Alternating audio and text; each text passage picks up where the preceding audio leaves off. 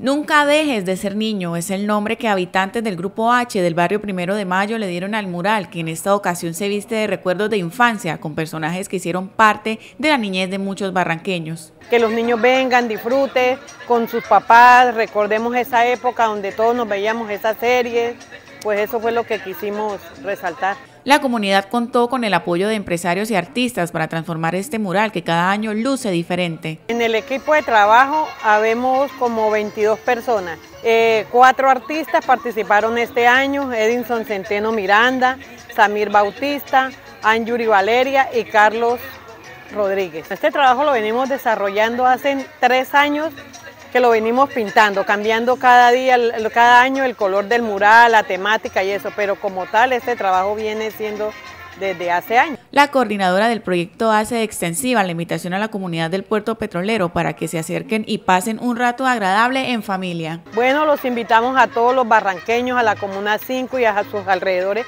que vengan y nos visiten para que miren el mural, se tomen sus fotos y puedan participar de las luces y todo eso pasen un rato en familia agradable.